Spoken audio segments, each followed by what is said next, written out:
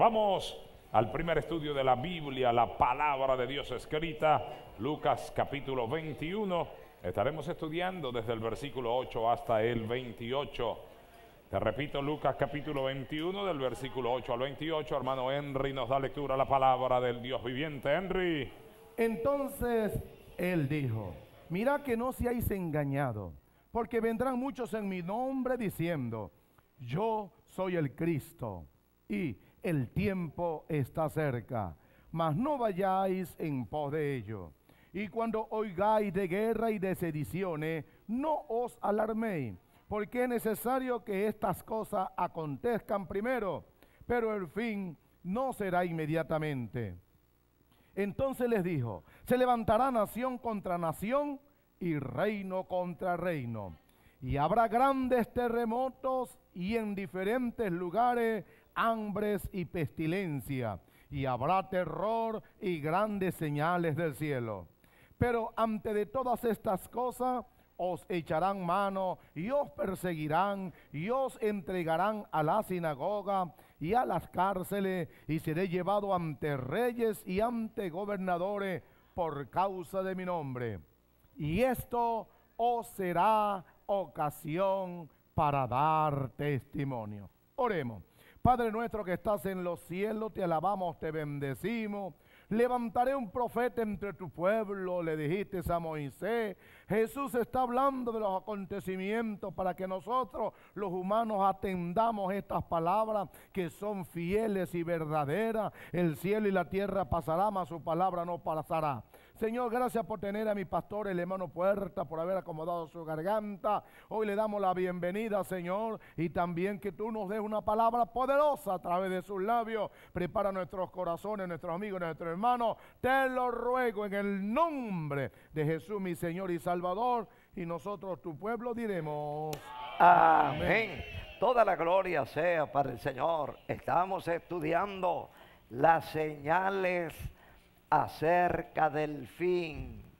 Siempre nos gusta que nos adviertan las cosas. Usted va en una carretera, curva peligrosa, ah, tengo que recortar. Bajada y pendiente, inclinada, tengo que recortar, probar los frenos. Qué bueno es que alguien nos advierta el peligro. Qué bueno es, amados hermanos, muchas curvas sucesivas. Qué bueno es tener esas señales en la vía. Los discípulos no eran la excepción. Ellos le preguntaron al Señor, ¿qué señal habrá acerca de estas cosas cuando estén para suceder? ¿Cuáles son las señales, Señor? Estamos hablando de Lucas capítulo 21, versículo 7 y ahora comenzamos con el versículo 8. Diga conmigo, él entonces, Él entonces les dijo. les ¿Cómo les digo el Señor en el versículo 8? mirad que no seáis engañados. Porque vendrán muchos en mi nombre diciendo, Diciendo, yo soy el Cristo y el tiempo, Tiempo está, está cerca. cerca. Mas no vayáis en pos de ellos. Oiga esto, hermano. El Señor Jesucristo nos está marcando las pautas para que no seamos ingenuos, para que no nos dejemos engañar. Hubo en los Estados Unidos un grupo de creyentes que se dejaron engañar. Había una señora que soñaba y como ella soñaba, se fueron detrás de los sueños y pensaron que el Señor venía en tal fecha. Pues no vino hubo un hombre soñador en los Estados Unidos y él, él escribió, él sacó los cálculos de acuerdo a los sueños que él tenía. El Señor va a venir tal año. Tampoco vino el Señor en ese año. Ah, entonces se levantó el segundo de él. De allí es de donde vienen las falsas doctrinas. ¿Sabe lo que digo? No, lo que pasa es que mi maestro se equivocó. Mi maestro hizo los cálculos mal. El año pasado era que estaba entrando el Señor en el cielo. Oiga, pero esa es una, una mentira del diablo, porque Jesucristo le dijo al ladrón que estaba a su lado, de cierto, de cierto te digo, ¿cómo le digo, mi Henry? Hoy mismo estarás conmigo en el paraíso. Hoy mismo estarás conmigo en el paraíso. Cuando uno lee la Biblia, uno descubre las mentiras del diablo, que el. Señor lo reprenda. Amén. Hermanos amados, Jesucristo nos dejó su palabra para que nosotros no seamos ingenuos, para que no nos dejamos, dejemos engañar con cualquier loquito de carretera que llega por ahí haciéndose pasar por profeta y no es profeta nada, lo que es un charlatán. Por eso Jesús dijo, diga conmigo, mirad que no seáis engañados. Mirad que no seáis engañados. Porque eh, vendrán muchos en mi nombre. Porque vendrán muchos en mi nombre. Dígalo conmigo, custodio. Diciendo. Diciendo. Ajá. ¿Cómo van a decir muchos que vengan en el nombre del Señor? ¿Cómo van a decir? Yo soy el Cristo. Yo soy el Cristo. Hermano, siempre se han levantado payasos. En Puerto Rico, de tiempo en tiempo, se levanta algún payaso diciendo que Él es el Cristo. Se levantó en Brasil un payaso diciendo que Él es el Cristo. Aquí llegó un chileno diciendo que Él era el Cristo. Y se instaló ahí en la flecha y empezó a hacer milagros. Y la gente iban, mire, eso llegaban de rodillas, porque ahí estaba Jesucristo en la flecha. De repente, después que estafó a bastante gente, agarró su saco de plata y se desapareció. Se desapareció el Cristo de los tontos. El que el ese. Señor reprenda al diablo. ¿Ah? El chileno ese, mire cómo se ríe No, campaña. no, él no, él no, él no, ese es mi hermano en Cristo. Amén. Un, un avispado, un zángano que llegó por ahí haciéndose pasar por Jesucristo. Diga conmigo, y también dirán, Y también dirán, el tiempo está cerca. el tiempo está cerca. El tiempo está cerca. El tiempo está cerca. Mas vosotros no vayáis en pos de ellos. Mas vosotros no vayáis en pos de ellos. Hermano, comenzaron a profetizar que el fin del mundo iba a llegar tal fecha. Entonces los novios aprovechaban con las novias. Le decían, mira, como se va a acabar el mundo, vamos a darle para adelante. Que el Señor reprenda al diablo. No te dejes engañar por Satanás. Jesucristo nos dejó su palabra para que nosotros no seamos ingenuos. Oiga bien, y cuando oigáis de guerra, como dice el Señor en el 9, cuando oigáis de guerra, Y de sediciones. no os alarméis. ¿Por qué no debemos alarmarnos cuando nos hablan de guerra, que se están matando, que se están acabando, que ya quieren los americanos, ya quiere el presidente Obama quiere echarle unas bombas encima a los pobres sirios. ¿Cómo le vas a echar eh, gasolina a la candela? Que el Señor reprenda al diablo. Bienaventurados los pacificadores, porque ellos serán llamados Hijo de Hijo. Dios. hijos de Dios. ¿Cómo vas a ir a echarle gasolina a la candela que el Señor reprenda al diablo? Amén. Dice aquí, cuando oigáis de guerra y de sediciones, no os alarméis, porque es necesario que estas cosas acontezcan primero, Pero, Pero el fin no será, será inmediatamente. inmediatamente. pero el fin no será inmediatamente. Hermano, yo pregunto, ¿cuántas guerras se han presentado desde que mi Señor Jesucristo se fue para el cielo? Muchas guerras, muchas guerras. Sí, las guerras son señales de que la venida del Señor está cerca. Pero no quiere decir que, que ya, ya, ya está listo. Vamos a entregar todo lo que tenemos porque el Señor viene. Y ajá, entonces los zánganos nos van a saquear. Que el Señor reprenda al diablo. Mi último versículo es el 10. Diga conmigo. Entonces les dijo. Entonces les dijo. Oiga, ponga la voz fuerte. Diga conmigo, se levantará nación contra nación. Se levantará nación contra nación. Y reino contra reino. Reino. reino contra reino. Hermano, las guerras sucedían una vez por la cuaresma, pero ahora, ahora parece que el deporte favorito es la guerra. Hay guerra de la suegra contra la nuera, hay guerra de los hijos contra los padres, hay guerra, mis amados hermanos, de los negros contra los blancos, los ricos contra los pobres, los pobres contra los ricos, los partidos políticos se insultan, se pelean, naciones contra naciones, uno contra todos y todos contra uno. Estas son señales de la venida del Señor. Nosotros debemos estar siempre preparados. El Señor dijo, he aquí yo vengo pronto y mi galardón conmigo para recompensar a cada uno según sea su obra. Hace dos mil años el Señor dijo, yo vengo pronto. Lo estábamos esperando ayer, no llegó.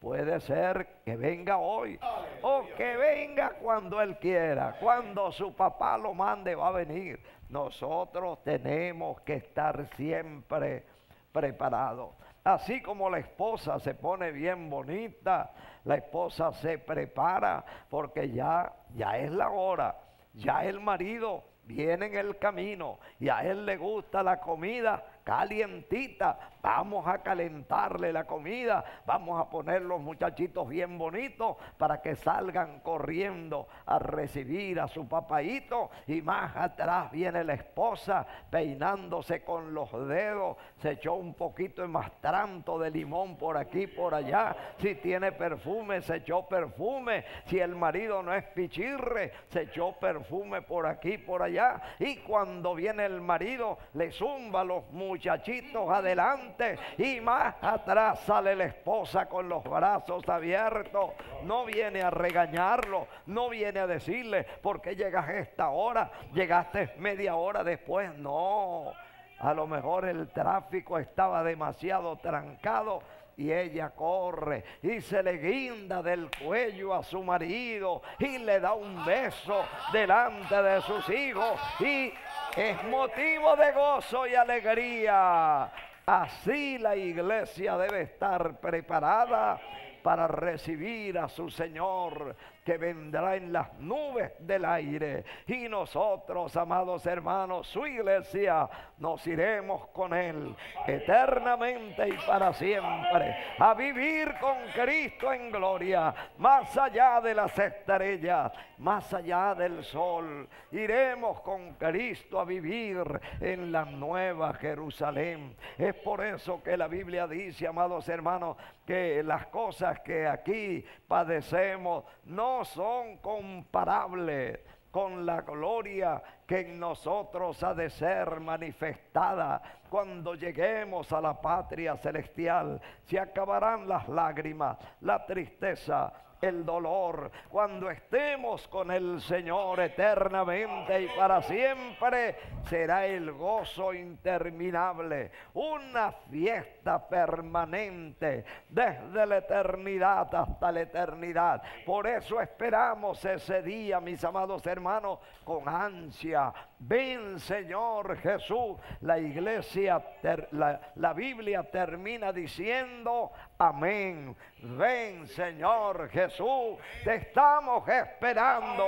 Lo espera cielito.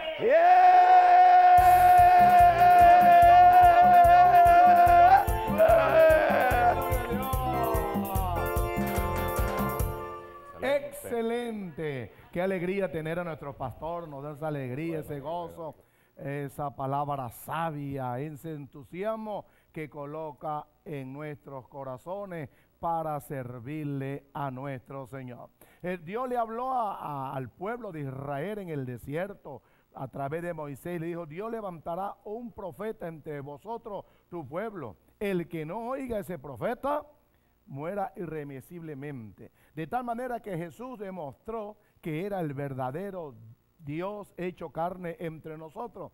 Jesús en su vida habló de profecías que se cumplían. Le dijo a Pedro, me negarás tres veces. Le dijo, uno de ustedes me va a entregar. Dijo, me van a matar, pero al tercer día resucitaré. Todas esas profecías se cumplieron en la persona de Jesús. Y cuando nosotros estamos estudiando este, este capítulo tan importante, debemos todas las personas y los seres humanos venir a la Biblia. La Biblia es el libro más actual las televisoras seculares le pagan grandes sumas a unos hombres para que empiecen a leer las cartas, para que le hagan horóscopo, para que consulten al más allá, a la bola de cristal, a la qué tantas cosas, para que conozcan el futuro, para que vean qué le van a pasar. Y son puros puro charlatanes. El brujo dice, ven para decirte cuál es tu futuro y el futuro de esa persona está totalmente destruida. Este es el verdadero libro de Dios que le habla al ser humano con ternura, con amor. Jesús en su amor y ternura le dice, estas son las cosas que van a suceder para que nosotros estemos apercibidos. Él es nuestro buen amigo, Él es nuestro ayudador, Él nos ama. Él dice, todas estas cosas van a suceder para que ustedes estén pendientes y estén preparados porque volveré a la tierra por segunda vez. Y aquí le está hablando de cosas que ya se cumplieron y muchas cosas que luego se cumplirán y que estamos esperando. El versículo 11 dice, y habrá grandes terremotos. Y eso nosotros no somos muy estudiosos de los sismos en el país y en el mundo. Pero si Dios lo dice, nosotros vemos cada rato por la televisión, por los periódicos, terremoto, tembló en tal parte, tembló en tu lugar, en la escala. Y todo el mundo anda asustado. Y aquí dice, y habrá grandes terremotos. Y en diferentes lugares hambres y pestilencia. Habla de dos factores que van a incidir en el mundo. Dice que en diferentes lugares habrá hambre y pestilencia.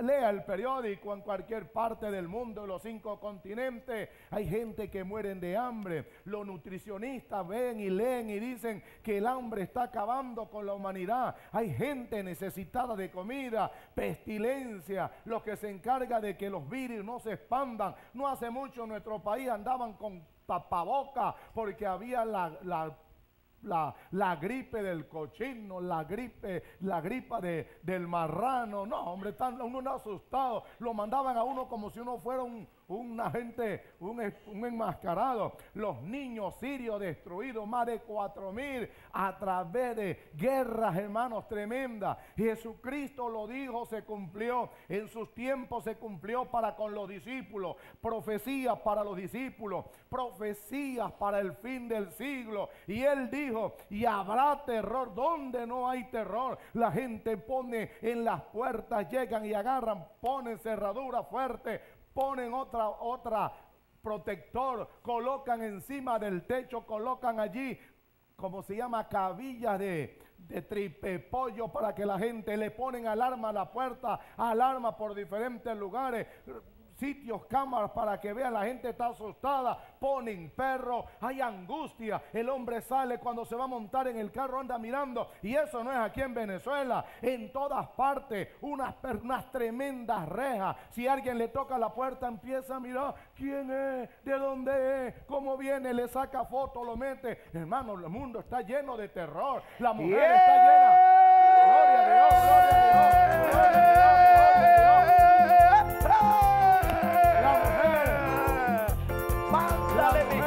Llena de Mándale, Henry. La mujer está llena de terror, me van a quitar el marido. Ya yo estoy vieja. es que ya muchacha es más joven, asustada. El hombre está asustado porque le van a quitar el trabajo. Voy a perder el trabajo. Oh, ahora, ¿quién podrá defenderme? Son profecías. Cristo lo dijo y se están cumpliendo. Pero aquí dice algo bueno: grandes señales del cielo. Jesucristo le habló a los discípulos de las cosas que iban a suceder. Y me gusta cuando dice grandes señales del cielo. Inmediatamente uno comienza a pensar que en el meteorito que pasó, que la luna se escultó, que el sol está de medio camino. No, las grandes señales del cielo vienen del satélite. Están los matutinos para la honra y la gloria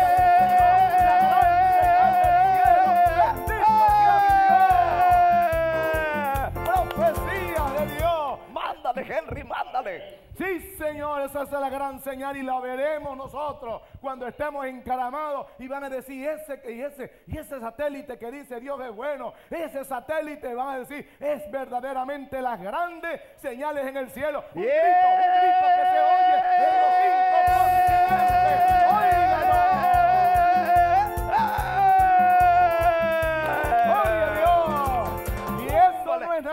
en esas grandes señales apareceremos nosotros, sus lindos rostros, los guamareños, gente sencilla. Daremos señales en el cielo porque nos mirarán de allá y entrará a cada lugar en nuestros corazones. Digan gloria a Dios, digan gloria a Dios. Me estoy emocionando, me, me estoy emocionando, hermano puerta, gloria a Dios. Pero dice también el versículo 12, se alegró. Ahora dice, pero antes de todas estas cosas os echarán mano y os perseguirán, os entrarán, entregarán a la sinagoga y a las cárceles y seréis llevados ante reyes y ante gobernadores por causa de mí. Jesús está hablando con sus discípulos, le está diciendo lo que le va a suceder, lo que les viene en camino. Ustedes van a ser llevados, ustedes van a ir para este lugar, lo van a perseguir, pero tranquilo, ustedes todas estas cosas los echarán mano. Cualquiera que los agarre pensará que está haciéndole un favor a Dios. No, Señor, esas cosas ya pasaron. Cuando bendito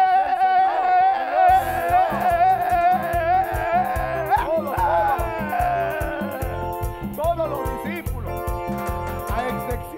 uno solo, murieron de forma violenta. Fueron llevados, unos fueron aserrados, otros fueron decapitados. Pablo vio la señal del cielo que venía, una luz que venía de arriba y le dijo, Saulo, Saulo, ¿por qué me persigue? Allí estaban las señales del cielo, pero las señales del cielo no se han acabado. Los discípulos murieron, pero Cristo le dijo, todas estas cosas van a redundar para el Evangelio, porque esto le será ocasión, a esto le será ocasión para que ustedes hablen de mí, para dar testimonio. Ahora nos ven como ángeles, bendito sea nuestro Señor y Salvador Jesucristo.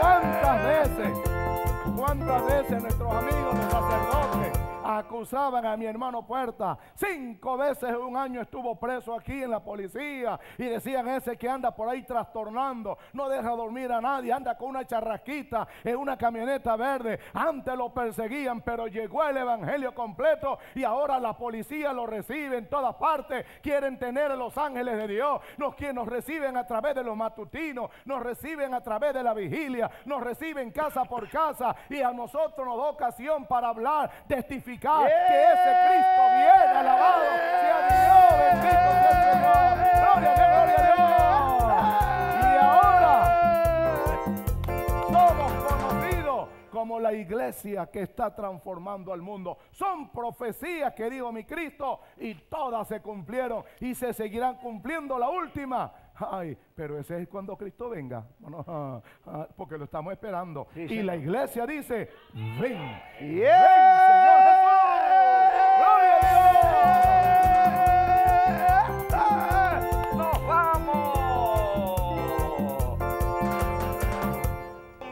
Cielito, diga conmigo, proveyendo Dios. Proveyendo Dios Alguna cosa mejor. alguna cosa mejor Para nosotros. para nosotros. Para que no fueran ellos perfeccionados. Para que no fueran ellos perfeccionados. Aparte de nosotros. Aparte de Dios nosotros. tenía algo mejor para nosotros. A ellos, mis amados hermanos, los entregaban en circos romanos, se los echaban a los leones. Ahora a nosotros no nos echan a los leones. Ahora nosotros disfrutamos del internet de Dios Aleluya. con el que estamos predicándole a toda la tierra. Amén. Disfrutamos de las radios, Amén. de las televisoras Amén. y pronto el satélite.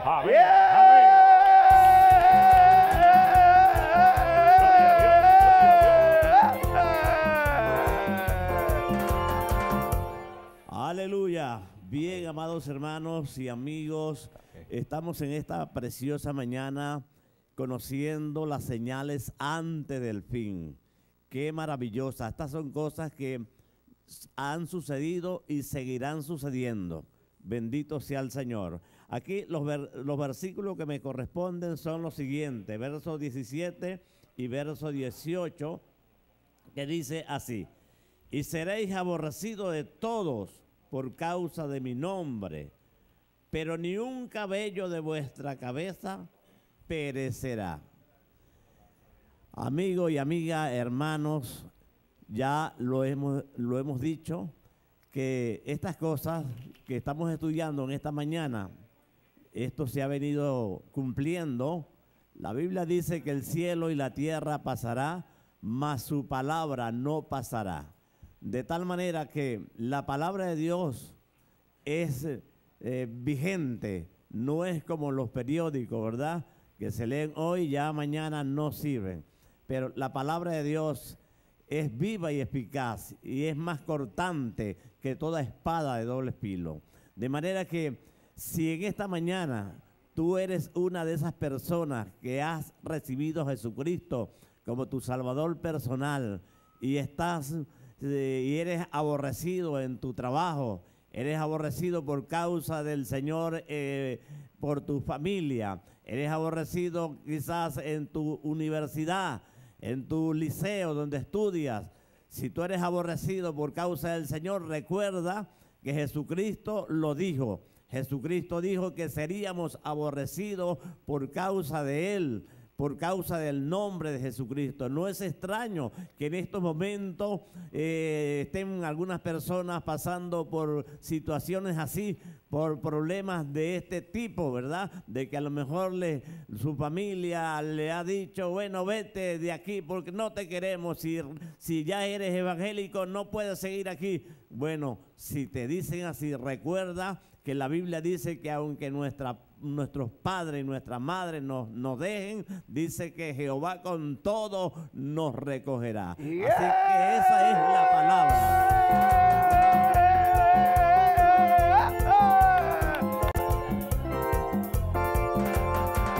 No hay que temer, no hay que atemorizarse porque el Señor, el apóstol Pablo dice que ante todas estas cosas nosotros tenemos que ser más que vencedores, no vencedores, sino más que vencedores. De tal manera, amados hermanos, que la palabra de Dios tiene que cumplirse en nosotros. No podemos nosotros recibir a Cristo y nada más eh, ponernos a esperar que nos lleve el Señor para el cielo. Recordemos que mientras vivamos en esta tierra, nosotros tenemos que padecer. La Biblia dice pues tengo por cierto que las aflicciones del tiempo presente no son comparadas con la gloria de venidera que en nosotros ha de, ha de manifestarse. De tal manera que esta es la palabra de Dios que tiene vigencia hoy y siempre. Que Dios me le bendiga y Dios me le guarde.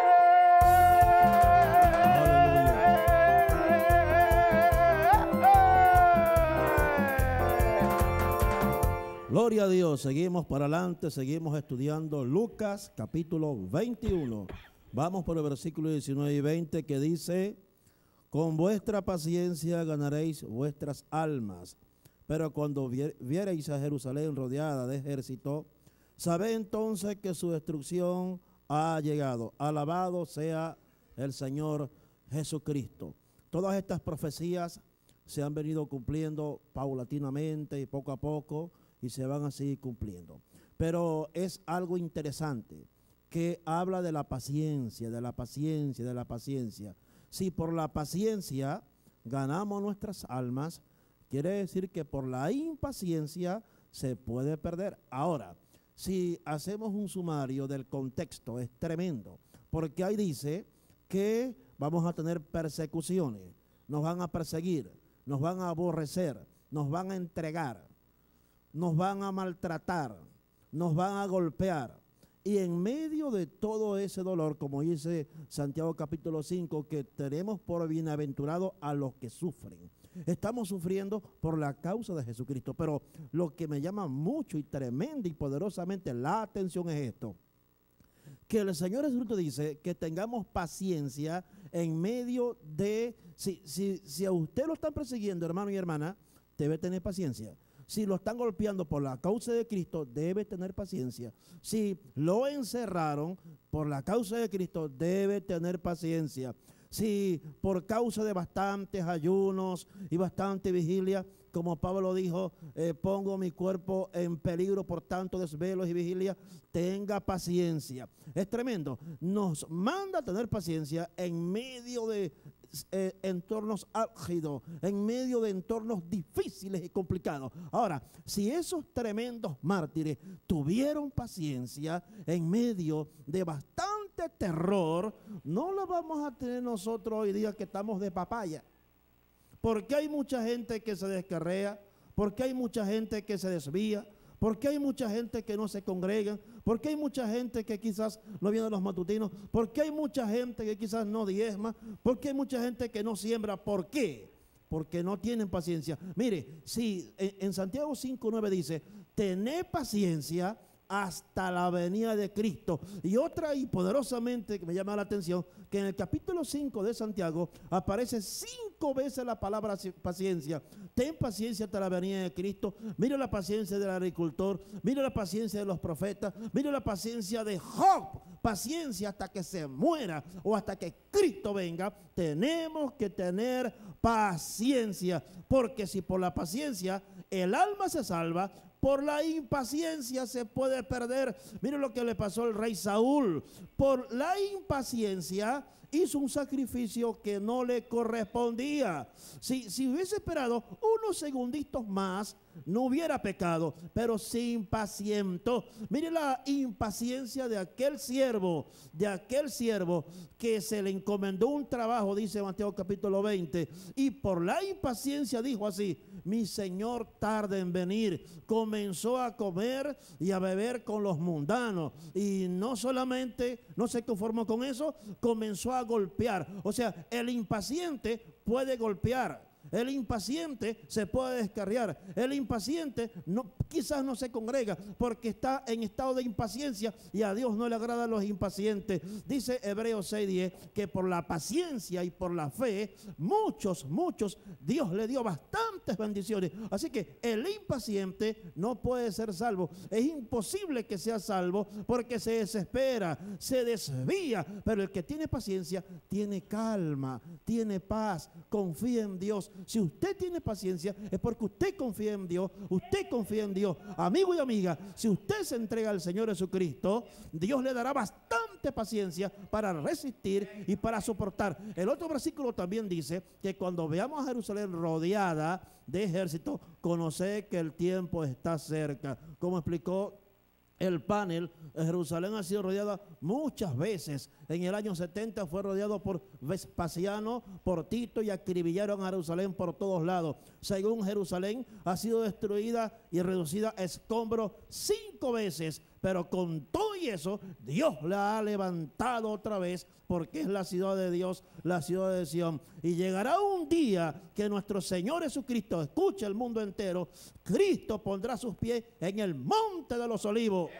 Y allí juzgará el mundo entero y Jerusalén por mil años será la capital del mundo entero.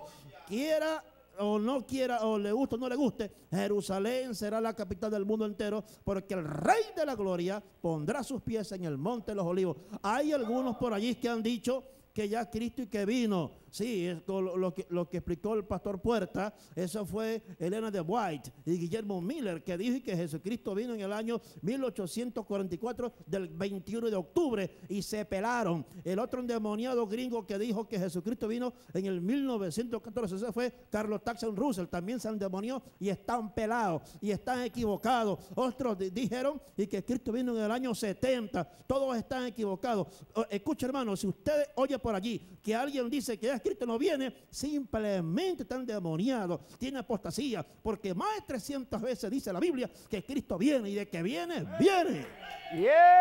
Alabado sea el Señor Alabado sea.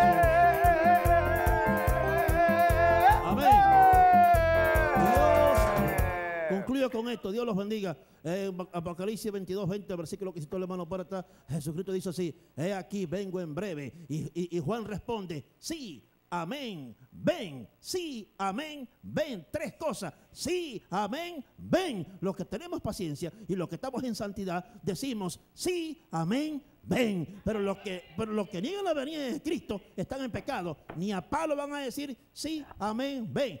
Dios los bendiga.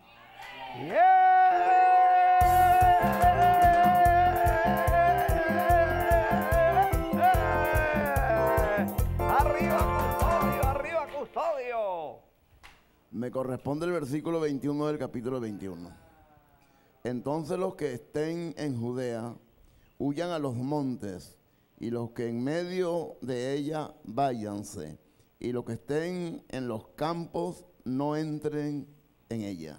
Es una alerta en aquel tiempo para Israel, ¿verdad? Que Israel siempre ha sido perseguido por la persecución y ahora estamos nosotros en el marco de Dios como siervos de Dios, elegidos por su amor y misericordia. Y el alerta para Israel es para nosotros también, ya que de un momento a otro el maestro puede venir. Y el que esté haciendo su plena voluntad, con el Señor se va. Y en un caso que el Señor tarde un poquito por venir, puede venir también la señora. Dirá usted, ¿cuál señora? La muerte física para el ser humano. Y después de la muerte no hay más, no vale rezo, no valen ayuno, no valen vigilia, lo que vale es una vida totalmente dedicada a nuestro Dios. En cierta ocasión, yo, yo no estoy en contra del deporte no, de ninguna manera, pero yo oí a un boxeador llamado Foreman. Foreman, él testificaba y decía que la pelea la tenía totalmente segura porque Dios lo estaba respaldando. Y yo dije, si este hombre gana esta pelea, voy a creer que Dios está de parte totalmente de los deportistas. Hermano, llegó el momento del, del combate. El pobre Foreman lo pusieron vuelto como una berenjena, moradito a golpes. Perdió la pelea y por poco pierde la vida también porque el boxeador pega duro.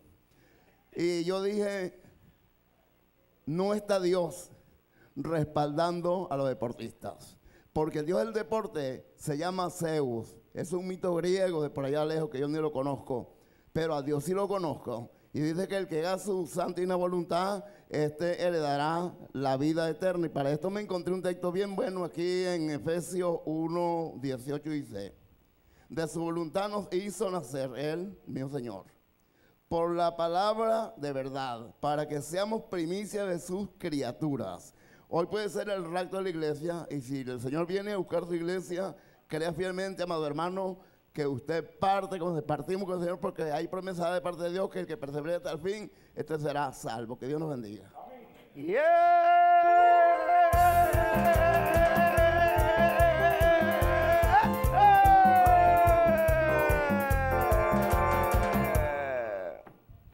Adelante, hermano Juan. Mm, Bueno, continuamos con las señales antes del fin. Señales antes del fin. Así dice el texto sagrado del que venimos estudiando. Me corresponde el versículo 22 y 23. Los leo como está escrito. Porque estos son días de retribución para que se cumplan todas las cosas que están escritas. Mas hay de las que estén encintas y de las que críen en aquellos días, porque habrá gran calamidad en la tierra e ira sobre este pueblo. Señales antes del fin. De verdad pues que no hay una palabra más veraz, no hay algo más maravilloso que la Santa Biblia, la palabra de Dios. Es una oportunidad, un hombre de Dios dijo, a mí se me quedan muchas cosas buenas, gracias a Dios por eso. Y él dijo que las falsas doctrinas venían porque la gente no se conformaba con las palabras del Señor y comenzaban a inventar cosas. Hoy se ha hablado de soñadores. Hace muchos años en la vida de Moisés, el mismo Señor alertó a su pueblo y le dijo, si se levantaren soñadores de sueño, no les creáis, aunque se cumpliera el sueño que tengan. Amado amigo que nos está viendo, nos está oyendo, por algún medio, en alguna parte de Venezuela, de América y del mundo, yo le doy una recomendación hoy. No esté buscando a Dios por los rincones. Aquí está la palabra profética escrita más segura. Dice la escritura, el apóstol San Pedro lo dijo. La palabra profética que alumbra como una antorcha en lugar oscuro. Esto no tiene retroceso, esta es la verdad de Dios. Y aquí dice la escritura que todos estos acontecimientos de la venida del Señor, todo lo que está escrito es para que se cumpla lo que está escrito. Lo que dijo Dios, la veracidad de nuestro Dios, la grandeza de Dios. Dios no se ha equivocado, no dice mentira, no la ha dicho ni la dirá jamás, no tiene necesidad de eso. Nuestro Dios es completo. No tenemos más para dónde buscar. Confórmate con esta palabra. Aquí dice, hay de las que en aquellos días estén en cinta o estén criando. Mi abuela decía, siempre las abuelas de nosotros, hermano Puerta, tenían algunas cosas muy tremendas. Y yo, yo me crié, se puede decir que mis primeros ocho años al lado de mi abuela, la acompañé porque ella era enfermita. Y resulta que ella, ella me dijo en una oportunidad, hijo, por ahí se oye que el mundo se va a acabar pero que el mundo no se acaba mientras las mujeres estén pariendo. O sea, que eran conceptos, algunos de ellos tenían unos conceptos medio errados, porque no hubo quien les enseñara nada de la escritura. Y algunos de nosotros, pues, eh, recién llegado al Evangelio, por ejemplo, yo lo testifico eso, que yo decía, pero bueno, ¿por qué sería que mi mamá, mi papá, mis viejos no nos enseñaron nada de esto? Porque yo hubiera creído en el Señor más temprano, no hubiera esperado que ya tuviera tanta edad para haber creído en el Señor. Pero es que a ellos tampoco nadie les dijo nada. Entonces no tenemos que echarle la culpa a ellos. La culpa de todas estas cosas y de la ignorancia y la ceguera en cuanto al conocimiento de Dios. Hay un autor, solamente uno, y ese es el diablo, que el Señor lo reprende que se ha interpuesto entre el camino del hombre y el camino de Dios para tratar de confundir y lo ha logrado. Pero gracias a Dios que hoy nos ha abierto los ojos.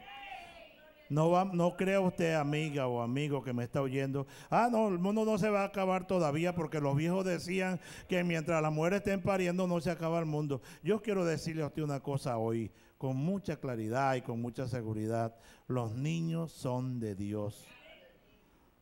Pueden haber millones de mujeres embarazadas y eso no va a detener a Jesucristo porque los niños son de Él. El Señor se los va a llevar el Señor se lo va a llevar. Así que no temas, no tengas ningún temor.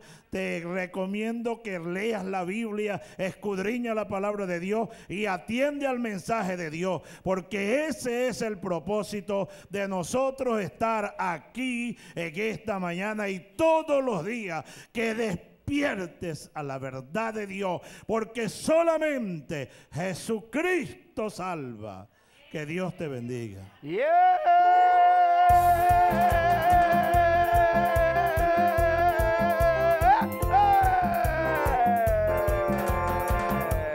Muy bien, continuamos con la palabra del Señor. Dice la Biblia, caerán a filo de espada y serán llevados cautivos a todas las naciones y Jerusalén será hollada por los gentiles hasta que, hasta que los tiempos de los gentiles se cumplan. Dice la Biblia en Amós 3.7 que ninguna cosa acontecerá sin que antes sea revelada a sus siervos los profetas. Dios nunca toma por sorpresa al hombre ni a la mujer, ni a las naciones. Siempre Dios envía, envía la profecía, envía la palabra. Y vemos que aquí en la palabra del Señor dice, y caerán a filo de espada. A filo de espada, ¿por qué? Porque no oyeron a Jesucristo, no oyeron la palabra del Señor y serán sitiados, dice, y serán llevados cautivos de todas las naciones. Sí, los judíos, hermanos, fueron esparcidos, gloria a Dios, en ese tiempo, Dios, salieron esparcidos. Y dice la palabra del Señor, por todas las naciones. Pero qué, buena noticia en, este día que Dios lo está recogiendo de nuevo. Porque la venida de Cristo está cerca, Dios lo está recogiendo a su pueblo amado, gloria a Dios. Pero en aquel tiempo fueron esparcidos por todas las naciones. Y dice, y Jerusalén será hollada por los gentiles hasta que se cumpla el tiempo, hasta que se cumpla, hasta que se cumpla. Entonces, ¿qué hace Dios? Dios está llamando. Recuerda la parábola que habla, Je- habla Jesucristo, donde hizo una boda y invitó a todo mundo. ¿Y qué dijo él? Vamos a invitar a los... co- Entonces, en esa invitación estamos los gentiles que en esta mañana estamos predicando la palabra del Señor. Y esto, y esto despierta celo, gloria a Dios, a muchas naciones, de que Guanare esté saliendo esta señal para los cinco continentes, alertando a un pueblo, no metiéndole miedo, porque recuerda lo que dice en Amos 3.7, que ninguna cosa acontecerá sin que antes sea revelada a sus siervos los profetas. En esta mañana están los profetas de Dios anunciando que Cristo viene pronto, que hay señales antes del fin, gloria a Dios, y viene todo esto a acontecer a la tierra. Pero se está dando este, anuncio, como dijo Henry, desde los satélites, de la televisión, la radio, que Cristo viene pronto. Grandes señales, aleluya, para la tierra y está aconteciendo de que Cristo viene pronto. Entonces, ¿cuál es el llamado en esta mañana? De abrazarnos de Jesucristo, de abrazarnos de los matutinos y oír la palabra de Dios. Palabra profética más segura, la que debemos estar atentos al oírla. Que Dios me les bendiga y que Dios me les guarde.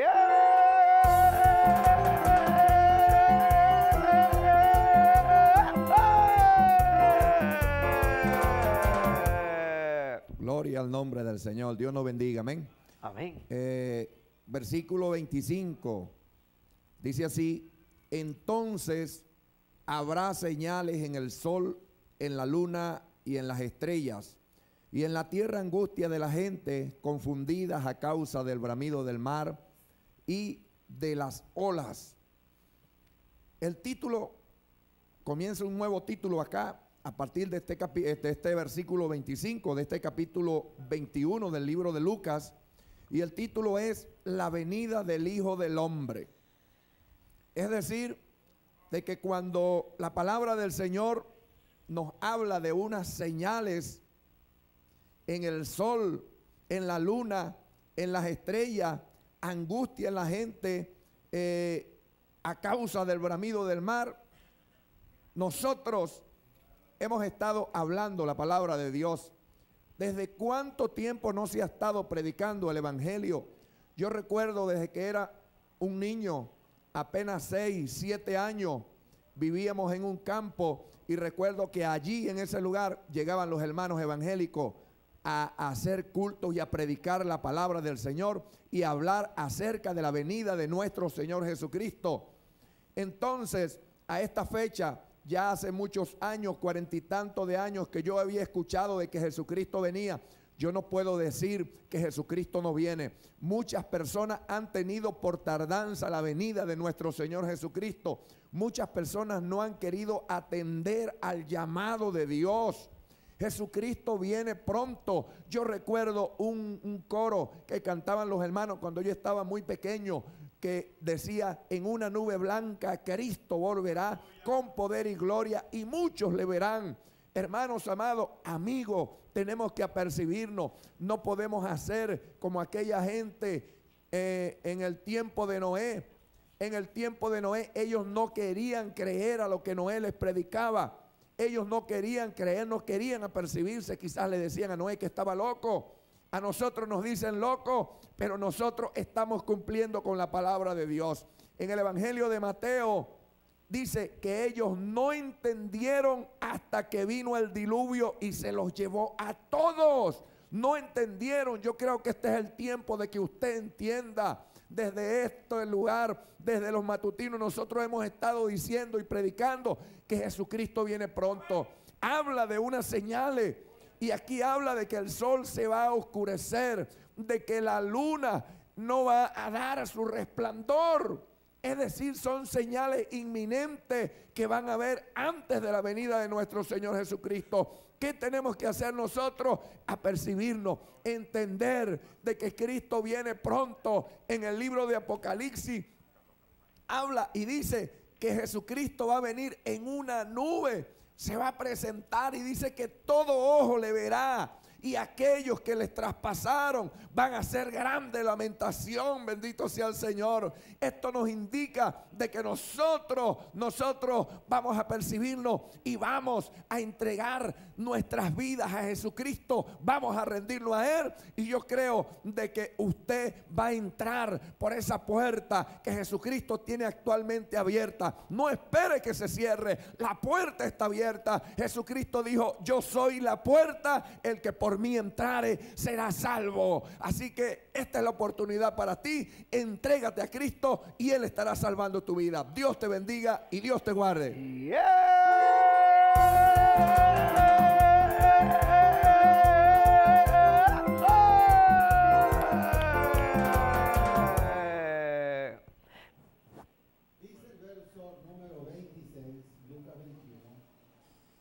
Desfalleciendo los hombres por el temor y la expectación de las cosas que sobrevendrán en la tierra, porque las potencias de los cielos serán conmovidas.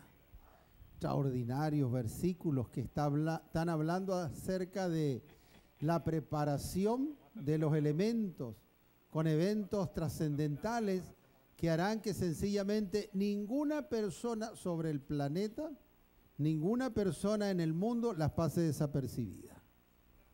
Porque no es que lo va a ver por la televisión, sino que en todas partes del mundo habrán grandes señales. Y una de las cosas que siempre ha sacudido, ha recogido, ha producido en, en el ser humano escalofrío, es cuando los elementos de la naturaleza, ellos se manifiestan. Los hombres suelen ser soberbios y orgullosos, arrogantes, altaneros, muchas veces. Pero cuando ven ellos una aguada enorme que viene, una luz de nieve o una enorme lluvia, cuando los ríos sencillamente inundan las aldeas e inundan las ciudades, entonces los seres humanos son sujetos a reflexión. Cuando la muerte misma visita cerca a la persona, alrededor, en medio de, sus familiares, los seres humanos son sujetos a reflexión. Nosotros estamos diseñados por Dios así. En el genoma humano, en nuestros genes, los seres humanos somos así. Cuando nos sentimos seguros, entonces la soberbia, ajá, cuando la comodidad sencillamente está al alcance de nuestra mano, los seres humanos se sienten tranquilos. Pero cuando hay algo que a ellos los conmueve, como cuando se sacuden los elementos naturales, esos enormes torbellinos, esos enormes ciclones, entonces el ser humano es sujeto a reflexión. Ahí entonces empieza a mirar hacia arriba.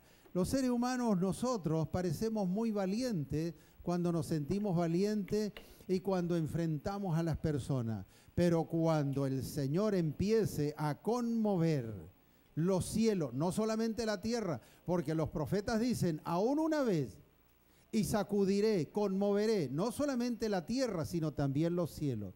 ¿Sabe qué pasa? Hoy hay tantos terremotos que ya nos acostumbramos ¿ah? a los terremotos. Chile es uno de los países en donde hay más terremotos. El día de ayer, en torno a la zona de Arauco, Bío Bío, hubieron unos cinco terremotos fuertes en menos de 24 horas, 5.6, 5.7 y otros menores. Y la gente ya entonces empieza a subir por el temor de un tsunami o algo que pueda pasar, a subir ya a los montes. Las cosas están siendo preparadas lentamente. Pero una de las cosas que a mí me sorprende terriblemente es que aún una vez y sacudiré no solamente la tierra, la tierra, los terremotos, los volcanes, sino los cielos. Cuando los cielos de los cielos, entonces, allá arriba, comiencen, ajá, esos problemas de que la luna se convierta en sangre, de que el sol ya no dé su resplandor, cuando empiecen sencillamente personas a hacer como los profetas, que harán grandes, ajá, milagros y caerá a un fuego del cielo, es que la parte de arriba ya entró en acción. Agárrese bien los pantalones, agárrese de Jesucristo más que nunca, porque si no, su alma seguro que se pierde. Que Dios me los bendiga y que Dios me los guarde.